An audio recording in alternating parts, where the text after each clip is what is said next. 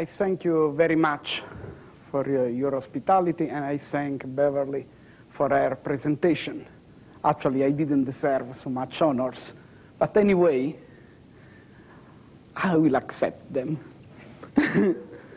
and uh, I apologize also for my bad English, but I hope in your cooperation so you could have a mutual understanding. As uh, Beverly pointed out, my present interest is in studying how elementary components of the matter, atom, molecules, electrons, whatever you, uh, you, you consider, could collect themselves in order to produce a macroscopic piece of matter. You know that in the present century, the main course in science was just the opposite. Science started from considering a macroscopic piece of matter and split macroscopic matter deeper and deeper in order to find out what were the elementary bricks. So there, before there were atoms, after we learned that atoms can be further split in nuclei and electrons. Electrons cannot be split anymore, but nuclei can. Nuclei can be split into protons and neutrons. Protons and neutrons can be in some sense split because some other particle could emerge from them. And uh, in the last decades, physicists learned that the most elementary bricks are quarks. But quarks had the, a strange property.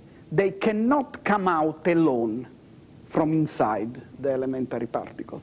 They are condemned to go always around into tight, tightly knit packets.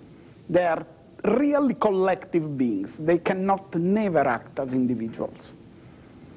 That's the universally accepted vision now.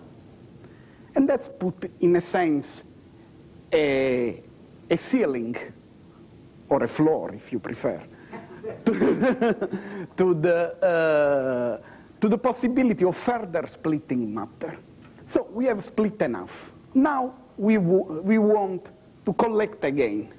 Consider, for instance, a boy or a girl who has a toy, he wants to see the toy inside, he splits and splits and splits. When all pieces are on the desk, now time is ripe for trying to collect again the piece and reconstruct the same toy or another toy who works reasonably well as the, previous, uh, the previous one. So now we are at this stage. We must learn how to collect again piece of, of, matter in order to produce a meaningful, a meaningful, I use the word meaningful in an absolutely pre-scientific way, uh, in a meaningful array which appear macroscopically to our, our eyes and our sensors.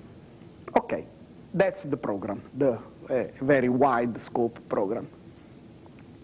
Of course, we, uh, the things we can do is just focusing on some aspect of this very vast program, which could be a century program in, uh, in a sense.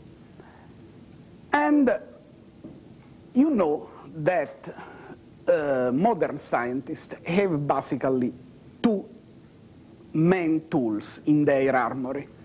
They have relativity and they have quantum theory. Relativity is particularly suitable for range where speed is very important, high speed compared to the speed of light. And that is quite separate for our common day experience. Quantum theory is commonly believed to be a theory which applied to very, very little dimension. People usually think to quantum theory as suitable for understanding elementary particles or nuclei, atoms, but not for understanding elephants, hippopotamus, and so on, where it is supposed that classical theory is enough. Actually, this is a widespread opinion, but I have reason to think that this is not true, that the limit of applicability of quantum theory is not the infinitely small, this is a misconception who originated by a great man, Niels Bohr, but this is not true actually. But quantum theory is the limit of an unknown, let's say, as exact theory, we don't know, but is the limit of the truth towards the ordered state of matter.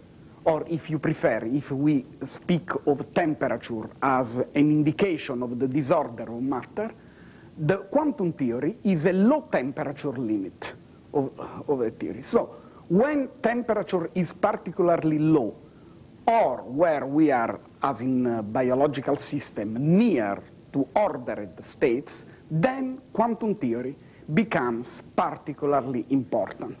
Actually, quantum theories work so well in atoms not because atoms are small, but because atoms are cold. that, that is the